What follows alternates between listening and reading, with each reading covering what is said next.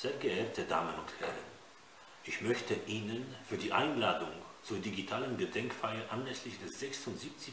Jahrestags der Befreiung der Kriegsgefangenen und KZ-Häftlinge im Stalag 10 Sandbostel sehr danken.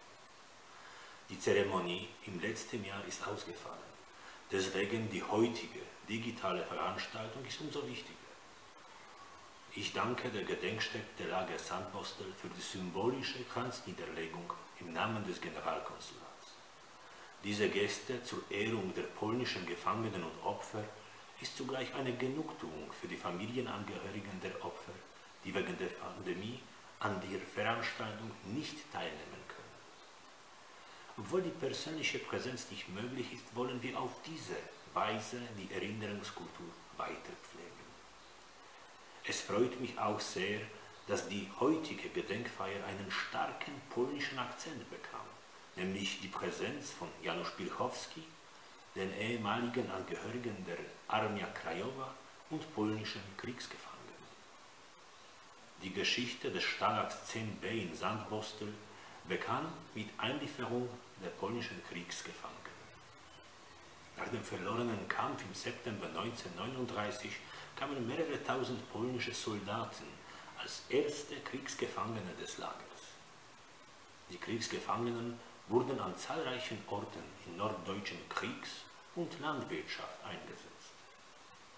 Hunger, Seuchen, Erschöpfung und Gewalt dezimierten die Gefangenen.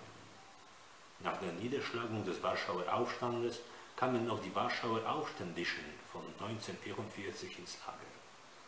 Die Anzahl von Opfern unter den Gefangenen und Häftlingen unterschiedlicher Nationen wird zwischen 8.000 und 50.000 Toten geschätzt. Wir danken der Stiftung Lager Sandbostel, dass sie den 76. Jahrestag der Lagerbefreiung zum Anlass nahm, um der durch die Besatzung, Gefangenschaft und Verfolgung betroffenen Menschen zu gedenken. Neben dem Stalag 10b in Sandbostel ist auch die Kriegsgräberstätte Arnewinkel im Selsingen ein wichtiger Ort in unserer Erinnerungskultur.